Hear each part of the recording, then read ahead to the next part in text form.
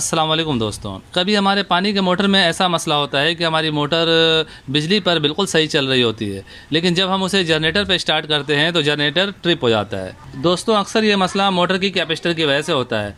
Capacitor ख़राब होने की वजह से मोटर का स्टार्टिंग टार्क बढ़ बढ़ जाता है, जिसकी वजह से जनरेटर ट्रिप होता है। देखें दोस्तों, हम इस मोटर को स्टार्ट कर रहे हैं और इस मीटर में आप स्टार्टिंग टार्क देखें। ये देखें स्टार्ट करते हुए ये जो इसका कांटा है, ये पूरा पंद्रह एम्पेयर पे जा रहा है। ये आधी की मोटर है, ये पाँच एम्पेयर स्टार्टिंग टार्क में लेती है, लेकिन यहाँ पे ये पंद्रह एम्पेयर ले रही है। अब हम कैपेसिटर को चेंज करते हैं। ये देखें बाहिर दोनों बिल्कुल सेम कैपेसिटर है, लेकिन अभी हमने कैपेसिटर को चेंज किया है। अब इसके टार्क को आप देखें। देखें दोस्तों, अभी इसका स्टार्टिंग टार्क जो है, वो सिर्फ़ तीन से चार एम्पेयर है।